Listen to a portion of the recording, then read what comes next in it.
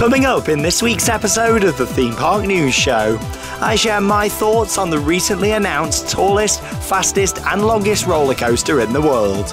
Along with that, I talk about plans for a new ride coming to Chessington, take a look at a new experience opening at Efteling, and much more. It's Friday, the 6th of September 2019, and this is the Theme Park News Show.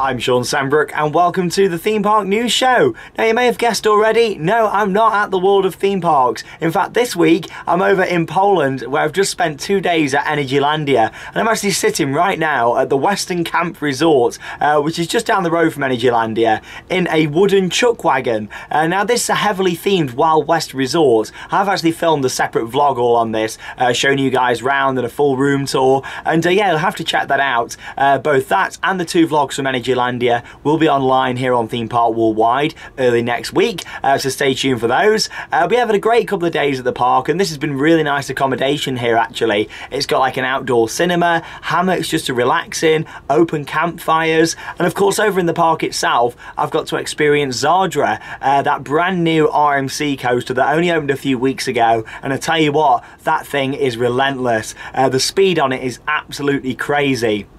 Uh, there'll be a full review, including on-ride POVs from all the different rides at Energylandia. Uh, like I said, just coming in them vlogs early next week here on the channel. Uh, so it's certainly very exciting. Uh, quite a bit of theme park news to talk about. Maybe not as much this week as there has been over previous weeks, uh, but it's great to hear that we're getting some more announcements now, ready for things opening in 2020. And of course, here on Theme Park Worldwide, we'll be keeping you up to date on all the latest developments happening for next year. And uh, yeah, I always look forward to following what's happening in the industry and sharing it with you guys. Moving on then, it's time for news on the tracks.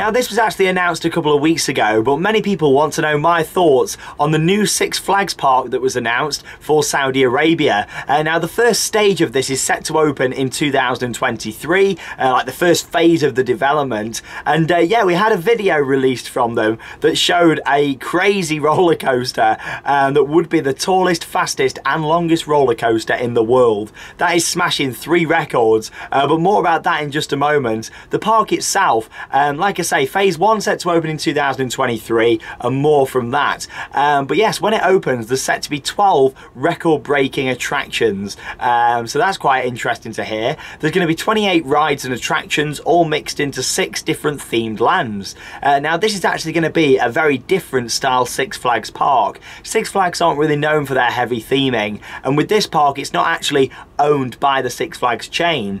Uh, it's actually owned by a separate company uh, and they're sort of licensing in the Six Flags name and the brand, uh, but it's going to look completely different as you can see in some of this concept art.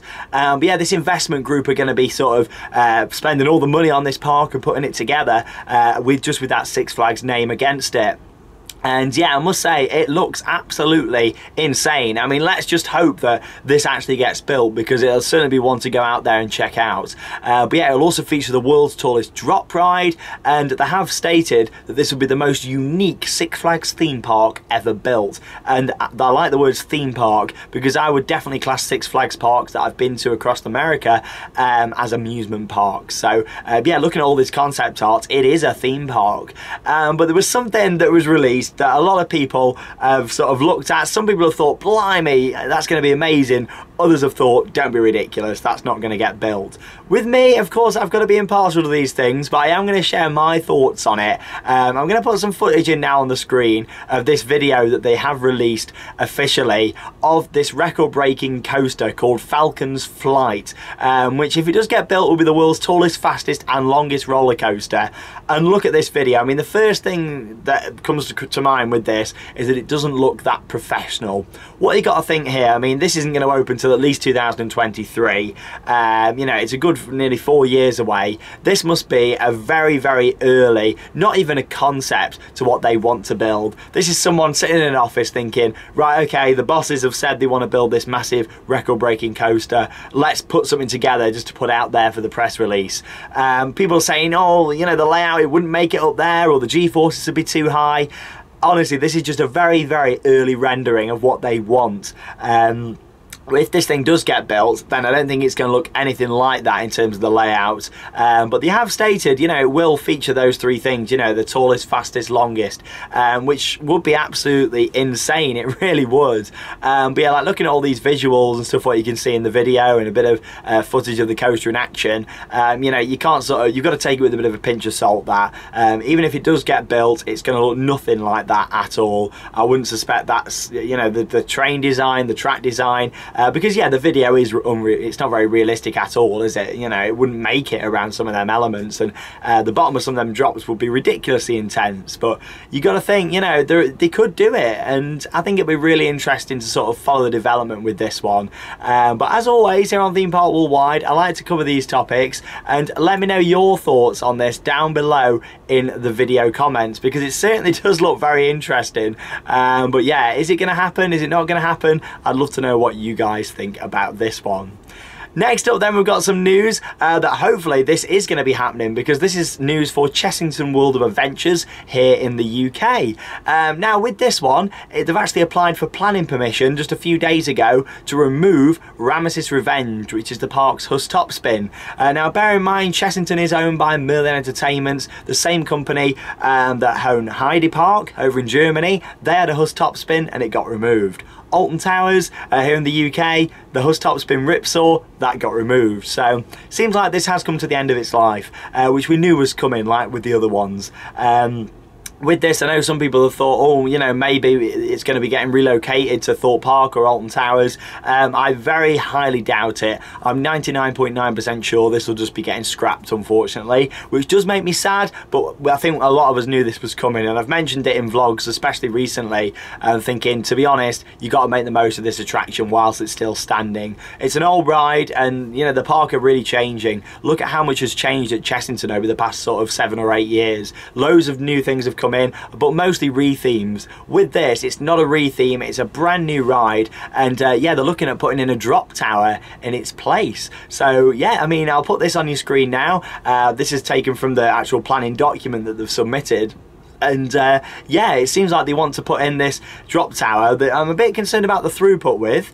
uh, with the only being one of these. I mean I'm not too sure how many seats there is on there. Looks like it might be similar maybe. This is just me hazarding a guess. Uh, to Magma at Paultons Park that sort of height as well maybe a little bit taller but you got to think with Ramesses Revenge it is down in a dip. Um, so they can sort of use that to its advantage but the interesting thing with this application is the theming because it looks like they're going to be building this giant sort of alligator's mouth which is going to be open and there's going to be smoke, water, um, various other lighting effects and maybe more than that to create an overall experience that should be really good for Chessington. you've got to think they've put some great theming in there. I mean, Tiger Rock looks brilliant uh, with all the tiger face and it dropping down underneath it. Um, and some of the other areas at Chessington, they've, they've made some good improvements. So I'm quite excited for this. You've got to bear in mind this is just the application going in. It doesn't mean it's going to be happening. I mean, Chessington have had issues before with planning and stuff. So um, you know, let's just hope, fingers crossed, this will get passed. I know a lot of people will be quite sad to lose Ramesses Revenge. Me personally, like I say, I am sad, especially with all the water effects. It looked great. It was a very visually pleasing ride. But something tells me with this one, it'll also be very visually pleasing. If you're going to have that big alligator mouth and it dropping down into it um, and all the effects, they, they sort of don't want to lose that because a lot of people get enjoyment standing off Ramesses Revenge and watching it. That'll be the exact same with this ride. And the fact they're keeping it uh, in the dip as well will really make it. Uh, but yeah, you know, it'll be interesting to see. You've got to bear in mind, Merlin don't really like putting in new flat rides and this is a new flat ride. So, um, you know, could this be a sign? Could we be seeing a flat ride come to Alton Towers as part of next year's development in Cloud Cuckoo Land? You know, the, the possibilities are endless. I think it's quite exciting to see that uh, Merlin Howl are buying this drop tower subject to planning permission and uh, putting in some heavy theming. It's also worth pointing out the Flying Jumbos ride, which is just behind it, they've applied for, for permission to move that to another location um, and also as well put in lots of new queue lines uh, and stuff for this new drop tower as well and all the associated landscaping work. So uh, again, here at Theme Park Worldwide, we'll always keep you updated with all the latest news as always. Um, but yeah, me personally, quite excited for this one. As much as it's a bit of a shame to be losing a classic, these parts have got to move on and when something comes to the end of its life, safety is paramount. Um, something brand new though now, uh, as we move over to the Netherlands and Efteling, um, because the Six Swans, which is a new experience as part of the Fairy Tale Forest, is going to be opening later this month and we're just going to talk a little bit about it. Uh, and I'll share some images on your screen for you uh, that Efteling have, re have released from this new experience. So you're going to be able to take a boat trip in this new attraction as part of the Fairy Tale Forest, which is the huge area at Efteling where the park all started really. And, uh, you know, I love it round there. As much as I do struggle to understand some parts, um, you know, I still like visiting it and seeing it all. I filmed it in the various Efteling vlogs, including our most recent from a couple of weeks ago. So you'll have to check that out if you're unsure all about it and how it works. Um, but yeah, at the moment, there's no rides as part of that. But they're building this short ride where you're going to be able to sit on a swan and head inside the fairy tale and then it'll bring you back out again. Uh, now, if you don't want to queue up to go on the ride, you don't have to. Um, you know, you can just walk through this as well. There'll be a path through the, uh, the fairy tale. Um, but yeah, that's just how the area works. You know, there's lots of different rooms you can go in, lots of experiences. Uh, there's like a tree. You've got Stretchy Neck, as me and Charlotte call them in the vlog. You know, very iconic uh, for the park. You know, where he lifts his neck and he keeps stretching. Uh, but yeah, this will be a ride. It'll be an experience where you can go in and some scenery around and it'll tell you this story. I imagine it's only going to be quite short, uh, but it looks beautiful, doesn't it? I mean, look at all these images. Um, it's a 15 metre tall castle what they've built and that's where the story will be told. Uh, and yeah, this is actually going to be opening on the 28th of September 2019. Uh, that's the Six Swans at Efteling. So yeah, I think that's, uh, you know, exciting to see that they're doing it. We had a little look at the construction when we was there a few weeks back. And yeah, I can honestly say, I think this will be a really nice addition to the fairy tale forest. Uh, I love Efteling and I look forward to seeing this at some point in the future. Just a small little update then now from Europa Park. Of course, there's lots going on there at the moment. They keep testing the water slides, ready for Rulantica that opens this November. Uh, but not forgetting that the mascot of Rulantica, Snorri, will be getting a new dark ride as part of the rebuilt Scandinavia themed area in the park itself. Uh, Snorri Touring will be a tracked dark ride. It's going to last about four and a half minutes, which is longer than I originally thought actually. And it's going to be built in the basement underneath uh, like the footpaths and the overall area. And yeah, you're going to sort of go down some steps, I imagine, uh, and, and then you're going to go on this ride, uh, or maybe like an elevator or something. Uh, and yeah, like it's going to be a four and a half minute-ish ride that's going to take you through the world of Snorri, uh, all based on that mascot for Rulantica, the new water park. so this will be really nice. And we've actually got an opening date for this new attraction. Lots of concept art has been released for it as well in recent weeks. And uh, yeah, we know that this attraction is going to be opening on November the 23rd, 2019, uh, which will be the opening of the winter season at the park. So that's nice for them because it means that there's a big draw to go out there for winter season to see a new ride. And I'm sure a lot of people will. I'm hoping to get out there for winter. I mean, that's not a promise. I've got a lot of stuff I want to do. Um, you know, not enough time. That's the problem. But, um, you know, this looks like it'll be a really nice addition that's Snorri Touring, and that's confirmed to be opening on the 23rd of November uh, 2019. Finally then, just want to talk a little bit about two iconic attractions that have closed at two European theme parks this week on the 1st of September. Uh, the first of those being Bob, uh, that Intamin Swiss Bob at Efteling. And oh, what a ride. It opened back in 1985, so it was an old ride. Uh, it's a shame that we've lost it, uh, but already they're not messing about. I've seen images earlier today, just a few hours ago, of the ride being torn down already. Uh, but yeah, it closed early in this week. It's going to be replaced by a new ride, uh, two powered roller coasters from Mack Rides called Max and Moritz. And uh, yeah, I'm looking forward to seeing that. Of course, I don't think it's going to be uh, Bob, you know, in terms of uh, the nostalgia that ride had, but I think it'll be a nice modern family experience. Hope there's a bit of theming more around it as well. We know they're using the existing station building and extending it, uh, but it looks like it just goes through the trees. But I'm hoping for a lot of little bits of theming and stuff to look at, maybe some audio out in the trees and the forest. Uh, I say the forest, they've actually took down a lot of the trees uh, to demolish Bob's circuit, but they're going to be planting loads more trees as well to make up for that which is good and also great for the environment isn't it? Um, but yeah that's closed. At Efteling along with that rock and roller coaster closing on the same day um, at Walt Disney Studios at Disneyland Paris. Uh, the vlogs for day one and day two have gone online over the past two days on the channel so make sure you check them out. And I also have my last ride on rock and roller coaster. Um, you know it was quite sad thinking oh you know it's all done with but it was a great ride. All the lighting packages made made it, the onboard audio. Um, but you know, I think it's going to be interesting to see what this new Iron Man coaster is like. There's still not much information about it at the moment, uh, so I'm hoping we see more soon. There's a few visuals and stuff for how it's going to look, but we don't really know what the actual coaster side to it's going to look like. We've seen the exterior and a bit of the queue line, but we don't know much more. But there we go. Share your best memories from Rock and Roller Coaster starring Aerosmith and also Bob uh, down below in the video comments. I always read through and reply to your comments or give them heart. And uh, you know it's always nice to see and hear your thoughts from the various different rides. Uh, but there we go. That is all for the news this week. It's now time for where am I? Where am I so as mentioned in last week's video, I wanted to give you guys another week to try and guess this one. There was a couple of people that got it right, uh, but I thought, now I'm going to keep you guys going and see who uh, manages to work this one out. And a few more people did. I was actually sitting on the flying machines at Blackpool Pleasure Beach. Uh, so well done to anyone who got that one right. Uh, anyway, let's have another new photo for you to try and guess exactly where I am here it is on your screen now. And remember, this segment is just for fun. There's no prizes or anything like that. Um, but of course, down below in the comments, I'm always dropping a few hints and tips if I think you are struggling. Um, I did on the last one as well. Um, so yes, make sure you comment down below and try and guess exactly where I am, and I'll reveal it in next Friday's episode.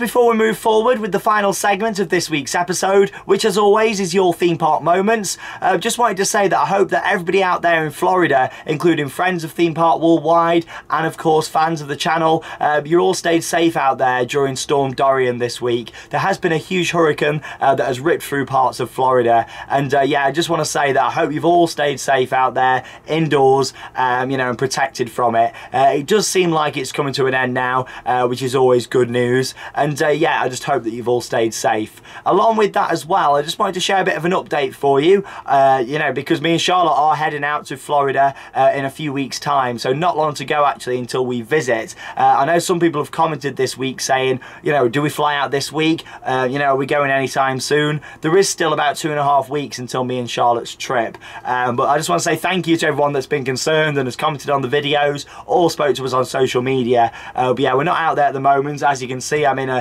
uh, you know in a chuck wagon in Poland. Uh, but yeah, we are going to be heading out there soon, and uh, yeah, hopefully the hurricane will have fully passed by then. Um, but yes, if you have been out there uh, over the past week, hope you've stayed safe. Uh, anyway, let's move on then um, to the final segment. Of course, your theme park moments. Quite a lot of photos to go through this week, uh, so let's get started. Firstly, then we've got Ethan, who's got this photo at Portaventura. Moving on, we've got Jack outside Taron just there. Moving on then, we've got Grady and his mum outside Millennium. I've just noticed anyone who sent one in, you're having your picture displayed in front of a wardrobe this week. There we are, something to remember. Moving on then, uh, we've got Bryony, who had a photo with me just there. Uh, up next then, we've got Oliver, who had a picture at Thorpe Park. Moving on then, we've got Amy, who had a picture with me and Charlotte. And then we've got Nathan with a Wicker Man on-ride photo. Moving on then, um, we've got Nathan with a Megaphobia on-ride photo. One Nathan at Wicker Man and another Nathan at another wooden coaster, Megaphobia. Love it. Uh, we've then got Gary and the family at Paultons Park. Hope you had a great time. And of course, check out our latest construction update from Tornado Springs that's now online. That new area opening in 2020. Moving on then, we've got Jeff, Gene and Larry outside Steel Vengeance. great friends of ours. We actually met up with them during our America trip. Uh, I first met them actually um, here in the UK. Well, I say here in the UK, not here in Poland, um, at Blackpool Pleasure Beach. Uh, you know, so it was great to bump into them, of course, over in America as well. Uh, moving on then, we've got Ruby and the family uh, on Apocalypse just there. And then we've got William with a Millennium Force on-ride photo. Up next then we've got Simon and Ethan on Wickerman at Alton Towers. And then we've got Rob, Alfie and Casey at Gulliver's World. Up next then we've got Callum with a Nemesis on-ride photo. And then we've got George at Legoland just there. Moving on, we've got the Holwards family at Blackpool Pleasure Beach. Hope you had an awesome day. Then got Helen and Christine on the roller coaster just there. So thank you very much for sending in that one. Next up then we got Luke, Chris and George at Europa Park in Germany. And then we got the Christ family um, just here with a runaway mine train on ride photo. Up next then we got Dylan uh, with a Cuchulainn on ride photo from Tayto Park. Probably didn't say it right, my pronunciation's awful, uh, but there we go. The big wooden coaster out in Ireland. Moving on we got Jack at the London Dungeon just there. Up next then, uh, we've got Ola uh, at Flamingo Land just there. Again, I'm not too sure if I pronounced your name right. Uh, we then got Jess who had a picture at Cedar Point. And moving on, we've got Freddie and also Frankie on the Gruffalo just there. So thank you for sending that one in. We then got Guy and Kane at Chessington just there. And moving on from that, we've got Anya and Grace with a photo from the Smiler. Moving on, we've got Shannon and Rob on Infusion at Blackpool Pleasure Beach. Hope your ears were alright after that one. And then we've got Tommy at Cedar Point just there as well. Then we've got Amy with a Megaphobia on-ride photo. And then we've got Josh at Chessington there as well. Moving on, we've got Lisa who had a picture at Alton Towers. And then we've got William at Thorpe Park just there. Moving on, we've got Geordie at Europa Park. And then we've got Beth and Kane with an Oblivion on-ride photo. Keep moving on then, we got Simon, Gracie and Dylan with me and Charlotte. It was great to see you and I'll say it as always, if you run into us anywhere at the parks, of course come over and say hello. We then got Mark with a Red Force on ride photo. And then we got William who had a photo with the legend that is John Wardley. Then got Jeanette and Les at Pleasure Beach just there. And then we've got Lone who had a photo with me. Uh, up next then we got Gavin who also had a photo with me there as well. And then Leo at Disneyland Paris. Of course check out the two new vlogs that have gone online the past two days from DLP here on the channel. Moving on then we've got a bell outside Bob. Oh rest in peace Bob. And then we've got Nathan with a Bob on ride photo. So thanks for sending that one in. Then got Ed at Toverland just there. And then we've got Carly with a photo from the Ultimate. Moving on then we've got Marianne at Adventure Island. And then moving on from that, we've got Ray and Zach with a photo from the Smiler. Up next then we got Jenny at Thorpe Park. And then we got Callum with a big one on ride photo. Up next then we got Emily with a rock and roller coaster on ride photo. Last few to go now, we got James with a Galactica on ride photo there. Uh, and then up next, we got Sib and also Hanny uh, with a Walking Dead on ride photo. Then got James, Emma and Izzy outside 13. And then we got Arlo and Phoenix with a Nemesis on-ride photo. Then got John, who had a picture there at Pleasure Beach. And the final photo is from Alfie, uh, who had a picture at Alton Towers. Uh, happy birthdays this week then from me, Charlotte and everyone at Theme Park Worldwide. A very big happy birthday to Becca, George, uh, Lone, to Lula. Uh, happy 18th birthday to Casey, 18th birthday to Dylan, uh, also to John, uh, Colette and Amy as well. So happy birthday to all of you from all of us. Uh, also some special mentions, a happy 5th wedding anniversary to Sarah and Lucy. Along with that as well, a happy 5th wedding anniversary to Claire and Christopher. And then we got congratulations to Scott and Jessica on their seventh anniversary. Congratulations to all three of you. I also want to say a big get well soon to Ryan, who's in hospital at the moment. Get well soon, Ryan. Hope you're watching the videos here on the channel and it's keeping you entertained whilst you're in hospital. Uh, but most importantly, get better soon. Uh, but there we go. It's come to the end of this week's episode here from my chuck wagon in Poland. Crazy, isn't it? Uh, but like I say, the vlogs from Energylandia will be coming online early next week. So stay tuned for those. If you want to see more of my accommodation, that'll also be coming uh, here on the channel as well. So make sure you stay tuned for that in a video next week. Just want to keep you guys in the loop with what's happening. There's two more episodes to go before we're going to be taking a little break whilst me and Charlotte go over to Orlando, Florida, film loads of new vlogs for you guys because of all the long park days, uh, Charlotte's first time, and uh, yeah, just generally enjoying ourselves. There's going to be two weeks where there's going to be no episode, uh, but we are going to be back uh, on the 11th of October. Um, so yeah, the episodes will end on the 20th of September. Uh, that'll be the last one. Uh, and then it'll be back from the 11th of October. So we're missing a couple of episodes there, uh, but then we'll be back um, with straight into Halloween stuff, which is certainly very exciting. Uh, but there we go. Thank you very much for watching Theme Park Worldwide. Uh, I'm going to go outside now and relax in a hammock, I think. Uh, but there we go. Thank you very much for watching. I'm Shawn Sanbrooke, and that means it's time to cue those credits. See you in the next video.